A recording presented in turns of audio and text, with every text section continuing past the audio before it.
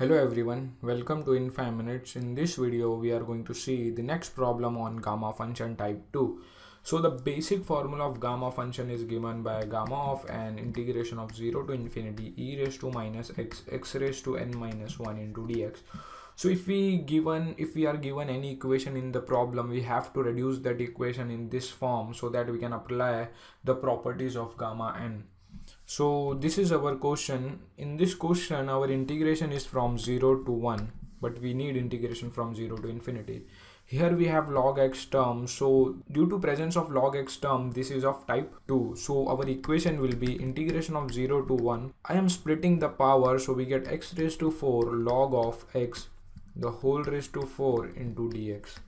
So if you see this is of the type 2 and in type 2 we substitute log of x equal to some other variable. So we put log of x equal to some other variable u. But here if you see we want e raised to minus of some term. So when we put log of x equal to u we get x equal to e raised to u. But we do not want e raised to u. We want e raised to minus u. So we put log of x equal to minus u. Then we get x equal to e raised to minus u.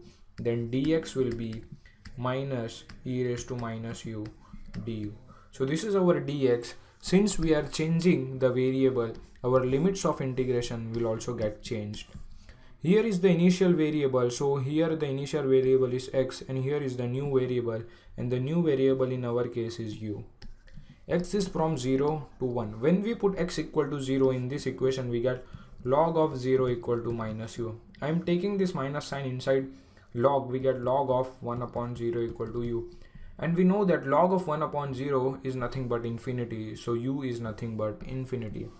When we put x equal to 1 in this equation we get log of 1 and we know that log of 1 is nothing but 0 so these are the new limits of integration then our new equation will become i equal to integration of infinity to 0 x raised to 4 x is e raised to minus u. So e raised to minus u the whole raised to 4 log x log x is minus u the whole raised to 4 into dx and dx is this term that is minus e raised to minus u du. So i am taking this minus sign outside integration we get minus integration of infinity to 0 e raised to minus u the whole raised to 4 is nothing but e raised to minus 4u and minus u the whole raised to 4 is nothing but u raised to 4 and here we have e raised to minus u du if we combine this e raised to minus 4u and e raised to minus u, we get e raised to minus 5u into u raised to 4 du.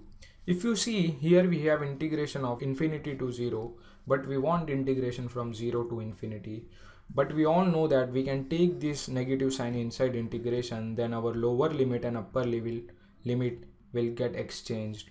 So we take this negative sign inside integration we get integration of 0 to infinity if you see in this equation we want e raised to minus only single variable. We do not want 5 so this is of the type 1 so remember any type of problem in gamma function will always get reduced to type 1 so this is the type 2 problem and it gets reduced to type 1 now we will solve this problem using type 1